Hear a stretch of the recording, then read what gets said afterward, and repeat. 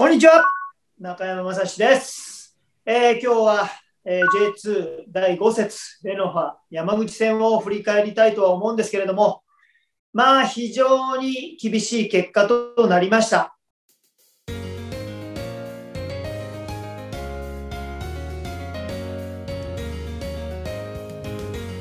なんかこうすっきりしないなっていう試合だったなっていうところですね。悪い立ち上がりじゃなかったなとは思うんですよね。前からもプレス行ってましたし、えー攻撃面においても守備面においても非常に集中力を保ってこう臨めているのかなっていう思いでは見ていたんですけれども、ただあの失点した場面はちょっといただけなかったかなというところですよね。やはりあのボール状況ですよね。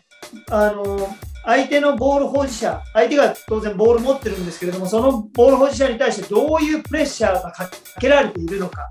後ろで構えてる選手の前で、そこにプレッシャーをかけてる選手がどういう状況で、どういう形でプレッシャーをかけているのかというものを見ながら、見極めた上でのポジションを取り、そこから自分のマーク、あるいはスペースをカバーっていうところにえーつなげていかなければいけないだろうなと思います。あの場面はどっちかっていうと、相手に前に入られてしまっているというところで、そこからボール出たらもうキーパーと1対1みたいな形になっていましたから、その部分でのポジショニングが必要になってくる。見た感じ、やはり寄せがちょっと遅かったかなという印象もあります。そしてもっと力強い、えープレス、えーあと1歩、2歩、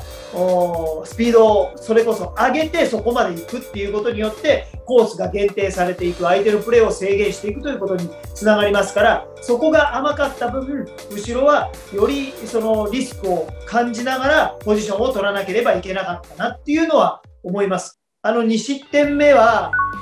まあ、あのキーパーもどっちかというといけるだろうという思いで飛び出したんですけれども、まあ、そこでちょっと触ったことによってディフェンスもちょっとそこに反応できなかったのかなっていうところはありますね。まあ、ただそこの部分もしっかりとディフェンスが来てるならばキーパーもそういうものを見極めた上での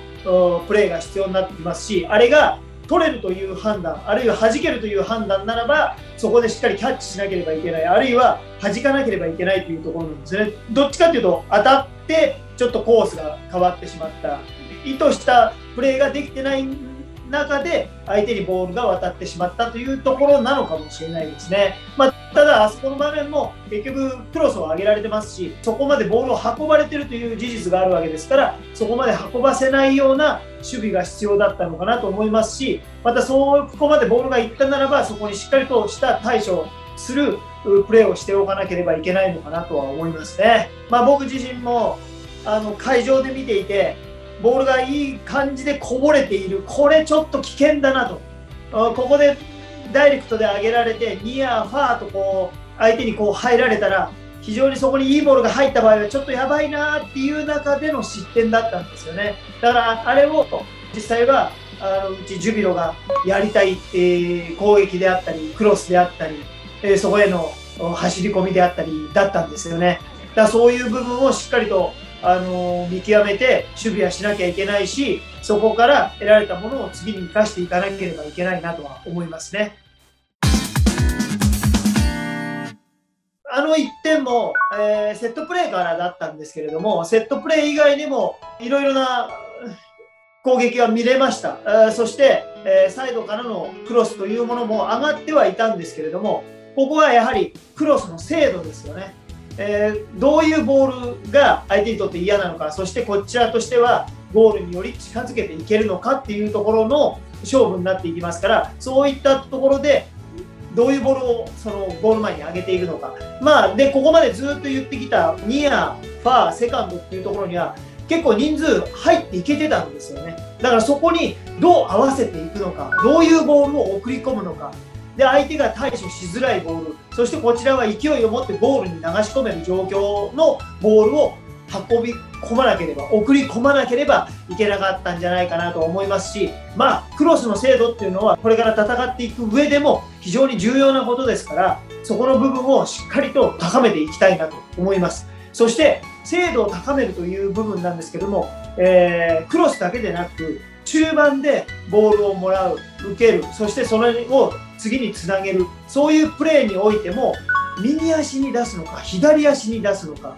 そこにどういったスピードのボールをどういった質のボールを出すかっていうところの細部にこだわらないとやはりちぐはぐなプレーになってしまうなというのは感じましたね。非常にいい状態でポジションを取れてる。三角形トライアングルが取れてるっていう時にボールを右足に出せばいいのに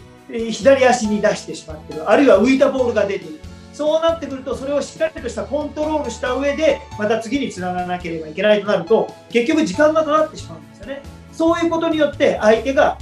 そこに対する対処を取れるという形になってしまうんですよね。だそこをワンタッチ、ツータッチで小気味よくポンポンポンってリズムを持って攻めることが相手のそのスライドを遅らせること、スライドが間に合わないということになるんで、相手の裏をついたり、相手のついてるところ、空いてるところを狙うことにつながっていく、そういう部分をより精度を高め、細部にこだわったボールで正確にボールをつなぐ、大事につなぐというところ、まああの、スピードを上げるというところで大事につなぐというところで、ね、ちょっと相反するものなのかもしれないですけれどもそれを同時進行でやらないとなかなか相手は崩せないかなっていうのは思いましたね。うん。まあ、試合を見てて感じたのはやはりチームとして戦うんだけれども、まあ、戦ってるんですよ。選手一人一人一生懸命やってると思います。ただやってることが一人一人があの独立してるような感じなんですよね。全てのその局面において1対1で戦ってるのかな1対1の局面を2対1に持っていく、まあ、攻撃であるならばサポートですよね。ボールを持ってる選手に対してどういう角度でどういうタイミングでかあのサポートしていけばいいのかそのサポートしたことによってそこからボールが出てきたことから次のプレーが生まれるとしたらその角度によって誰が走れるのか誰がそのタイミングで出ていけるのか誰が空いてるスペースに走り込めるかそこを見つめてそこに出せるかっていうところに従っていくと思うんでやはりそういうところそして今度ディフェンスにおいては相手がボールを持っています。そこに対してどういうディフェンスがなされているのかどういう形でえー、プレスをかけているのか右切ってるのか左切ってるのか正面を切っているのかプレスに行ってる人間ボールサイドに行ってる人間のカバーに行くこういう動きが必要になってくるわけでそれがカバーに行くこともしないとなると1対1の局面が2つっていうことになるわけですよね。そういうような戦い方を攻めでも守り守りでもしてしまっていたのかなと。まず基本的なことをとにかく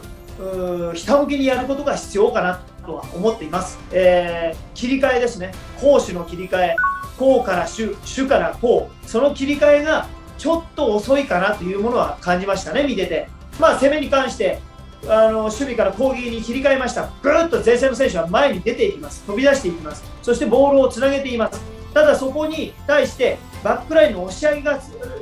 少し遅いかなということによって間延びしていてそこから相手のどっちつかずのボールが落ちた時にそのボールを拾えてないという場面が多少ありましたねそして今度は